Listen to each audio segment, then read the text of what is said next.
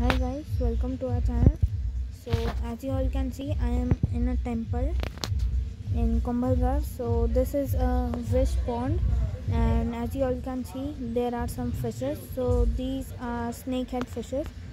And this is all for today's video. And if you like my videos please subscribe to my channel like and also comment. Till then take care and bye.